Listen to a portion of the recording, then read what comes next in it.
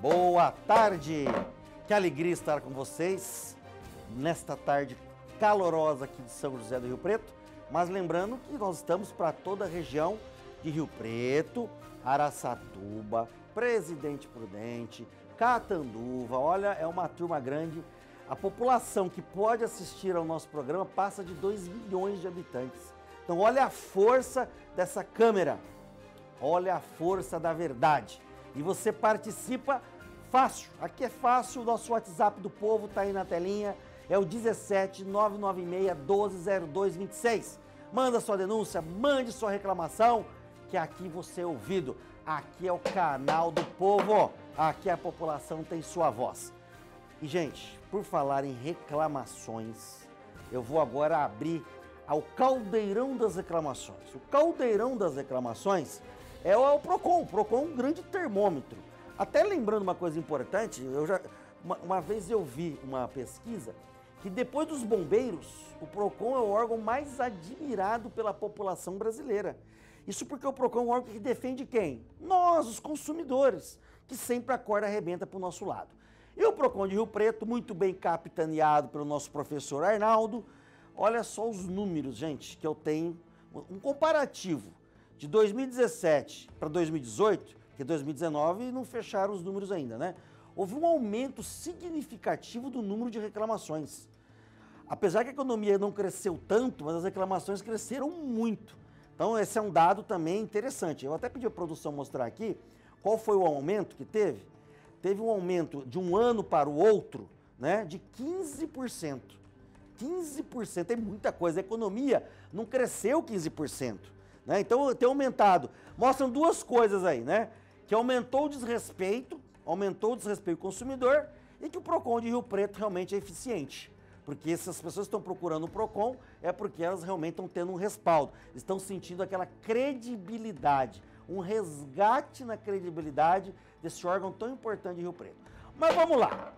Caldeirão de reclamações. Olha que coisa, gente. É, do universo de mais ou menos aí 7.500 reclamações, vocês imaginem 7.500 pessoas que em 2018 foram reclamar lá no PROCON. Um terço, um terço foram reclamar sobre o quê? Sobre o quê? Telefonia. Telefonia. E olha, telefonia é uma coisa que simplesmente, até as crianças, criança já sai do parto ali, já sai da sala de cirurgia com a mãe, se duvidar, já vão fazer uma conta no Instagram naquela hora e a criança já vai chorar no Instagram. É, então vocês imaginem, então telefonia hoje, né, os smartphones, essa revolução digital que nós passamos, já diz tudo. E aí fico louco da vida aqui, gente, indignado. Um terço das reclamações sobre algo que praticamente já é um órgão nosso, né? O telefone já é um órgão nosso. A gente precisa dele para tudo. Tudo bem que tem uns marmanjos aí que usam para fazer brincadeira, fazer gracinha, né? Tem bandido que usa, mas tudo na vida é assim, né? Mas o que importa é que a maioria das pessoas usam um telefone para coisa boa. E a gente sofre com números assim estarrecedores. Eu imagino Araçatuba, como deve estar os números, por exemplo, o dente. Podia até depois a nossa produção levantar, que eu quero também ouvir os sintomas disso lá. Bom, tanto que hoje, né, eu, o professor Arnaldo sempre nos atendendo bem, hoje ele está aqui de novo, no segundo bloco, nós vamos ouvi-lo, né? Só que agora eu quero ouvir um cidadão que mora num bairro é, da periferia de Rio Preto, um bairro que inclusive eu tenho um carinho imenso, imenso, que é o Santo Antônio. Adoro com esse bairro desde quando ela começou. E o Toninho, é, ele faz parte inclusive da associação de moradores. Ele faz parte da diretoria de lá. Ele é uma pessoa muito atuante na comunidade. Então ele é um termômetro aí para nós de como realmente está esse serviço de telefonia aqui em São José do Rio Preto. Cadê o Toninho? Será que ele está na linha aí? Boa tarde, Toninho. Boa tarde, meu amigo. Ô, oh, meu querido. E o, e o nosso Santo Antônio aí, tá firme? Firme. E o Diego Bafus? Diego Mafus Faria, cada vez melhor, o melhor do Brasil. Só para todo mundo saber, gente, o Diego dá aula no Darcy Ribeiro, é diretor lá no Darcy Ribeiro, que foi que desenvolveu um projeto que foi considerado o melhor, entre os 10 melhores professores do mundo. Isso é de Rio Preto, é do Jardim Santo Antônio. Orgulho de ser Rio Preto. Toninho, Mas falando, saindo agora de coisa boa, vamos falar de coisa ruim um pouquinho. Me fala uma coisa, como é que é o sinal de telefonia aí no Santo Antônio, na região norte de Rio Preto? Olha, no Santo Antônio é ruim, muito ruim. Todas as operadoras. No ah. Parque da Cidadania, Nova Esperança, Jardim Nunes e Jardim Caetano, péssimo dos péssimos. Deus. Toninho, mas o detalhe é que você me citou alguns bairros aí, que eu acredito que se somar todos deve dar uns 30 mil habitantes por baixo, se não for mais. Eu calculei 42.500. 42.500. Toninho, então a reclamação é geral, e não é só a telefonia não, acaba influenciando na internet também? Péssimo tudo que, que, é, que envolve é, é, telefone, seja fixo, seja internet, seja operadora, sem exceções. Olha, Toninho, até você depois continua aí acompanhando, porque nós vamos trazer algumas notícias boas e vamos identificar também o porquê que há esse descaso tão grande. Eu vou comentar aqui. Toninho, então o que eu queria te pedir? Primeiro eu quero te agradecer por dar esse depoimento para nós aqui, trazer esses números, né? É, quero te agradecer, te cumprimentar pelo seu trabalho que você faz aí frente à associação, junto com a sua diretoria, associação de bairro. E veja bem, acompanhe aí, porque eu vou, vou dar sequência aqui no estúdio e vou passar uma informação que nós vamos entender o porquê é que é tão ruim a telefonia aqui em São José do Rio Preto, especialmente em bairros tão importantes. Obrigado, Toninho. Bom, escutem essa. Vocês sabiam que São José do Rio Preto, no ranking de 200 cidades do Brasil, ela é, está entre as quatro piores do Brasil para as empresas é, propagarem o serviço de telefonia, instalarem antenas e atenderem o consumidor. E aí vocês podem perguntar, Jean, já pega a bola preta, já dá um bicudo nas empresas aí, já manda a bola preta. Uh -uh. Vou contar uma para vocês aqui que vocês não vão acreditar. Em São José do Rio Preto existe uma lei que para que uma empresa instale uma antena, é, existia, melhor dizendo, deixa eu me corrigir, existia uma lei até o final de 2018 que para a empresa instalar uma antena, ela precisava construir uma praça. Bonita, a ideia foi boa, né? Mas praça com antena? Num país, num mundo que nós temos que ser, avançarmos com a economia, desburocratizarmos, tinha essa lei. Aí o que as empresas fizeram? Ora, se ela tem verba para colocar mais antenas, ela vai colocar onde é mais fácil. Porque ela tem que entrar com um pedido na prefeitura, construir uma praça, para depois ir lá e pedir autorização para colocar uma antena. E antena agora, gente, é uma coisa importante vocês aí de casa. Quando você vê aquela torre, você fala, opa, é uma antena de celular. É, tá certo? Só que a maioria das antenas não estão mais em torres, são, são equipamentos do tamanho do meu martelo da verdade aqui, ó. Eles podem colocar em cima de prédios, sabe? Podem colocar até em cima de, de até de orelhão, se eles quiserem, tá? Então não é mais aquele trauma. E outra coisa, aquela lenda também de que é, faz mal para a saúde, vai dar câncer e não sei o quê. Sabe aqueles xiitas que ficam pegando, o que escrever e ficam fazendo um monte de abobrinha. Também, ó, já tem estudo técnico mostrando que não faz mal para ninguém, tá? Então, olha o absurdo. Aí, agora vamos para cá, agora tem a parte boa. Depois eu vou voltar nessa matéria. Produção, não esquece que aqui vocês já sabem, a gente mata a cobra e mostra o pau, tá? Vou voltar no assunto, tá? Porque essa lei foi revogada. O município mediante um, um, trabalho em conjunto com o PROCON de Rio Preto, com a Comissão de Desenvolvimento Econômico e Defesa do Consumidor da Câmara, mais a Prefeitura, ou seja, ó, três, quatro, PROCON, Câmara, Prefeitura e principalmente as empresas. Os quatro se juntaram e mudaram essa situação. Essa lei da praça foi revogada, entrou uma lei nova e agora começou-se a instalação de novas antenas. Então, nós temos algumas novidades, eu vou voltar quando as antenas estiverem funcionando, porque faltam só 500 antenas em Rio Preto. O número é esse, 500 antenas. Olha, tem umas coisas no nosso país que não dá para acreditar, né? Olha, é umas coisas que às vezes outros acham que a gente está mentindo, né? É difícil. Bom, mas no intervalo eu volto, esse assunto tão importante que envolve o nosso órgão se chama celular, né? Nosso órgão, é um órgão hoje, né? celular virou um órgão, né? Voltamos no, depois do intervalo e lembrando que a nossa linha da verdade está aí. Mande sua dúvida, faça seu comentário e eu vou colocar aqui sempre no final, tá bom? Até daqui a pouco, vamos lá para o nosso intervalo. E novamente estamos aqui com esse carinho todo de vocês. Olha, eu estou acompanhando lá no nosso WhatsApp do povo, o pessoal mandando as mensagens, mandando os vídeos. Quero agradecer todo mundo e quero lembrar que o Jean Dornelas está lá no Instagram, no Facebook. Me acompanhe, estou sempre postando dicas importantes. Então, quero, quero cada dia mais estar perto de vocês, tá? Bem, e o assunto é importante. O assunto, falar de telefonia, falar de qualidade de serviço. Eu estou aqui hoje com o nosso amigo, professor Arnaldo. Faça favor, professor Arnaldo. Tudo bem? Já, professor bem? Arnaldo já é nosso freguês aqui, tá? Mas é um freguês muito bem-vindo, né? Bom. Eu quero sempre te parabenizar pelo trabalho feito à frente do PROCON. O PROCON Municipal passou é uma, história recente é, de outro governo, né? O PROCON realmente deixou muito a desejar, viu, Arnaldo? E agora, esses anos, últimos anos agora, nessa né, atual gestão, a sua frente também, o doutor Ezio, que esteve à frente um período, mudou. E nós estamos vendo o resultado dos números, né? Nada melhor do que números para a gente poder falar de resultado. Exatamente. O aumento pela procura dos serviços do PROCON retrata isso, né? Mas falando de números aí, é, comenta um pouquinho dessa evolução dos números. Como é que, como você tem entendido? Por que, que você acha que aumentou esse atendimento em até 15%? Olha só, Jean, primeiramente a gente tem que entender que as pessoas agora estão mais empoderadas. Elas têm mais noção de como que elas podem reclamar. É, porque isso é um trabalho também do Exato. próprio PROCON. Né? Isso, também. O PROCON aparecendo na mídia, com ações, Exatamente. né? A, a, própria imprensa dando esse espaço, né? Isso tudo colabora, então. Né? Colabora né? bastante, porque as pessoas, elas, elas, de uma certa maneira, se sentem acolhidas.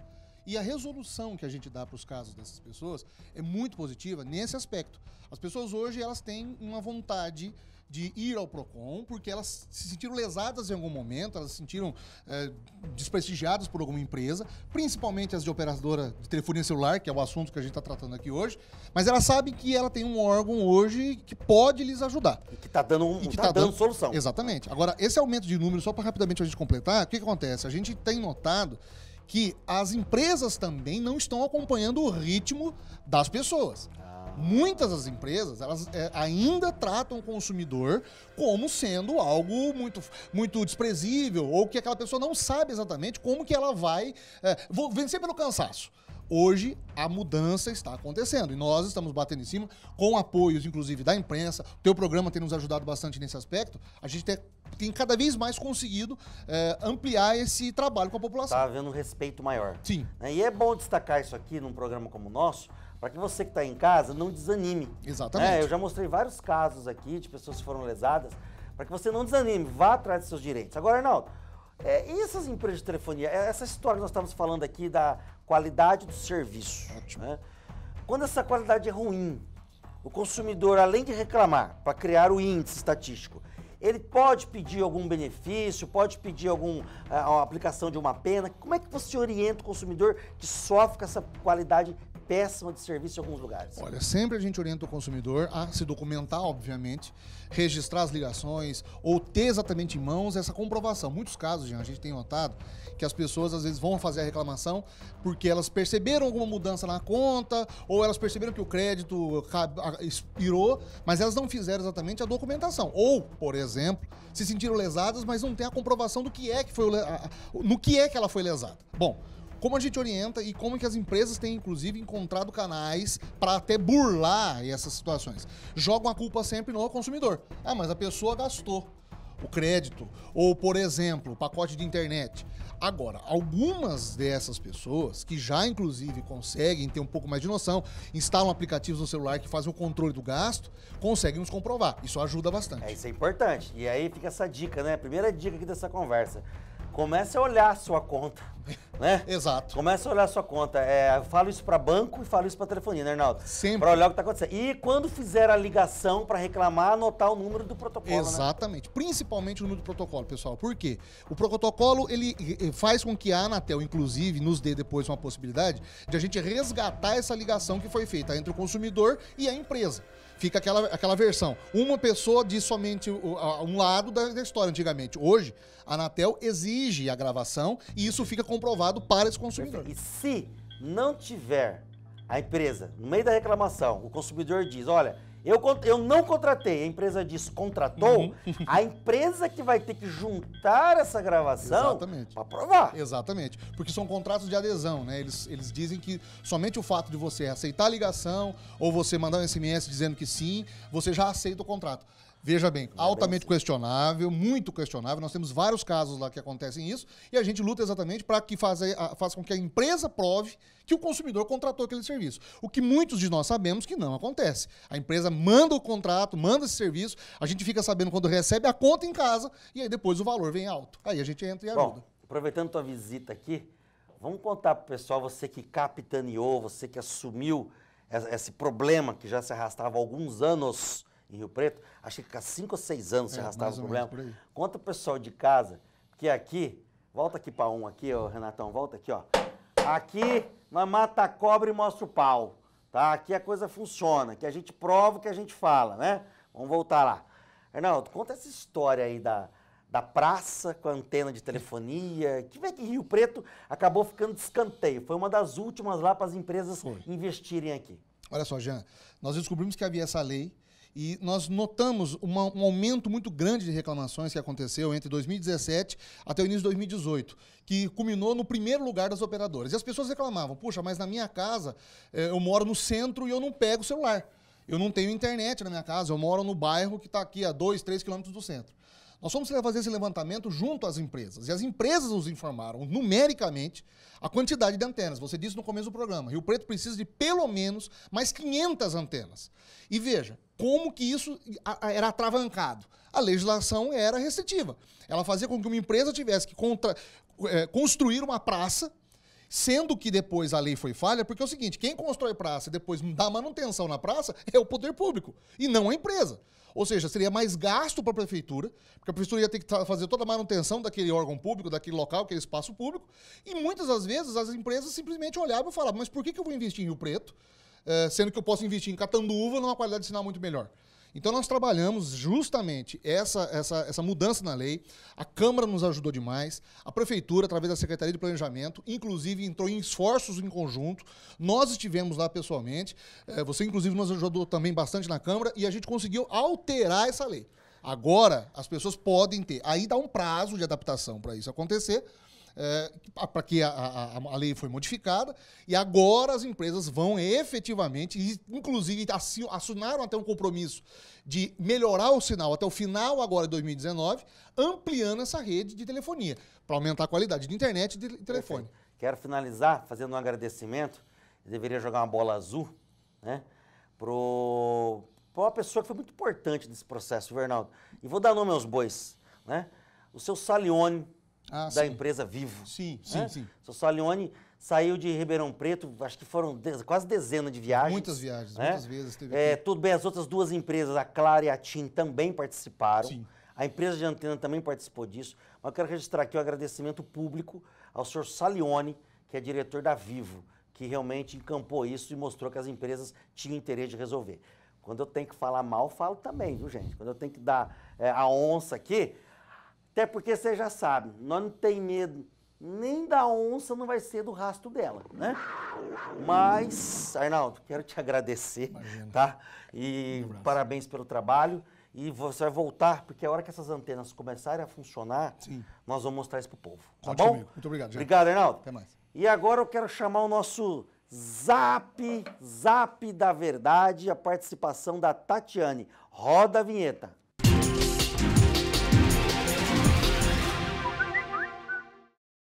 Boa tarde, meu nome é Tatiane Peixoto. Eu moro em Olímpia, no bairro Santa Fé.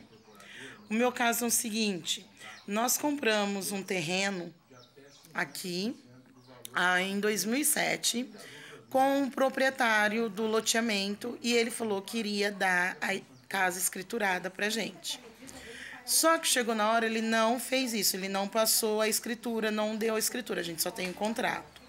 Quando a gente tinha o dinheiro para fazer a escritura da casa e a gente foi lá para poder fazer a escritura da casa, ele não quis fazer.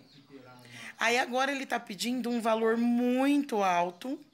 Entendeu? E eu gostaria muito de saber o que, que a gente deve fazer, se tem como você ajudar a gente, porque toda vez eles vêm aqui falando que vai tomar a casa da gente, a gente já pagou pelo imóvel, entendeu? Que qualquer hora essa casa pode ser empenhorada porque o proprietário do loteamento tem dívida. Então eu gostaria muito de saber o que, que a gente pode estar tá fazendo. Vocês já viram, né? Bola preta para aquela lei da praça, né? Tô, quando eu tô batendo assim, porque a coisa tá preta mesmo, viu?